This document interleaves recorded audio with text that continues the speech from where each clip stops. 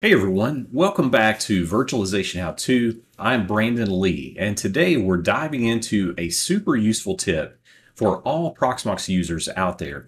And I know many are thinking about switching from VMware vSphere to an open source solution like Proxmox.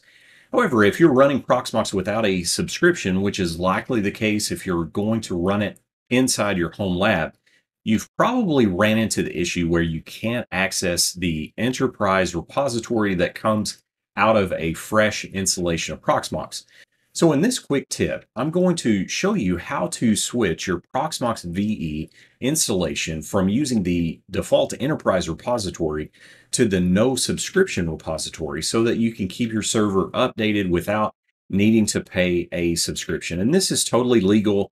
It's totally within the terms of use with Proxmox. We're simply going to hit a different repository outside of the enterprise update repository. So we've logged into the web interface of our Proxmox VE server that I've just cleanly installed. And as soon as you log in, you're going to see the no valid subscription. And that's going to happen as well when we swap over to the uh, no subscription repository as well. So keep that in mind. We're going to have this no valid subscription pop up.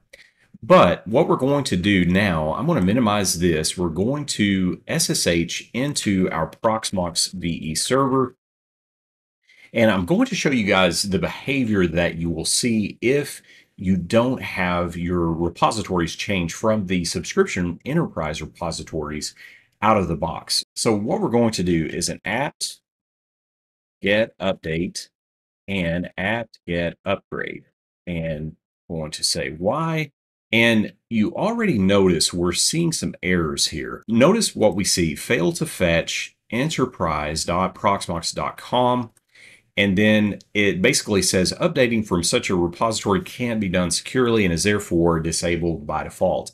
And this is a telltale sign that we are not authenticated to use the enterprise repositories for updating our Proxmox VE server because we have no valid subscription. So what we need to do is edit a couple of files as of Proxmox 8.x. With 7.x, there was a single file that we needed to update.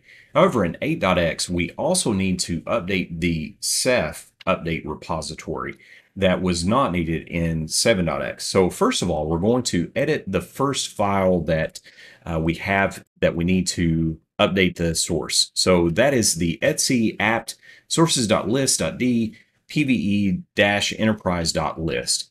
So let's actually edit it this time instead of typing it in. And we're going to see what we have out of the box by default. And you notice exactly what we saw in the output. We've got enterprise.proxmox.com, Debian PVE, Bookworm, PVE-enterprise. So what we want to do is just simply comment that out. And this allows us to leave this entry in this, this specific file so that if we go to a subscription in the future, then we simply can just uncomment this configuration back out.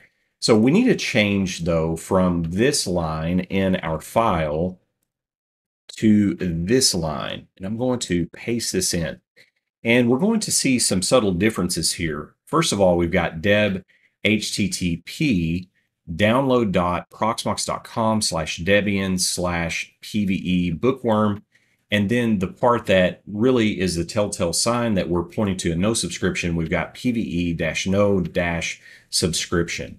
So this will effectively point our Proxmox system updates to this PVE no subscription repository. So all I'm going to do to finish this out is a control X in Nano. So it's going to ask us to confirm the modifications. We're going to type Y. We're going to leave the file as is and just simply hit enter. Also have the Ceph update repository file that we need to update. Now this file is a different file. So what we're going to do, let me clear out and we're going to do a nano and then the Ceph update repository list file is found at etc apt sources.list.d slash ceph.list. So we're going to edit this file. And once again, we can kind of discern that we're pointed to enterprise since we've got https enterprise.proxmox.com and we need to point from that particular repository. I'm going to go to the end of that. Actually, let's uh, put our comment in the front. We're going to hit end. I'm going to return down to the next line and I'm going to simply paste in the repository. We can see it's deb http download.proxmox.com debian ceph dash quincy bookworm no subscription. So again, this is pretty intuitive. We can see that this is a no subscription repository that we are modifying our update list file for Ceph 2. And so now all I'm going to do is hit a control X. Once again, like we did our first file, we're going to confirm the save, leave the file name, hit enter, and that's it. As simple as that. We modified two files to effectively pivot from the enterprise update repositories over to the no subscription repositories, which are ideal for a home lab configuration and scenario. So now let's see, without a reboot or anything, let's see if we can now update our Proxmox VE server. So I'm going to just simply do a history command. I'm going to copy this and I'm going to paste it in. So let's see what happens when we run our update and upgrade commands. And it's looking much more promising this time. We've got activity. I don't see any errors. And we're seeing that our Proxmox host is able to hit the repository updates as needed and it's pulling those down. As you guys can see, we have a successful update of our Proxmox VE server. Well, thanks for watching this quick tip on virtualization how to. If you found this video helpful, please give it a thumbs up, share it with your fellow tech enthusiasts, home labbers, don't forget to subscribe for more virtualization insights and tutorials, as well as a lot of great home lab content that we have coming your way. If you have questions or even tips, drop them in the comments below. Well, until next time, stay safe, keep on home labbing, and I will see you guys in the next video.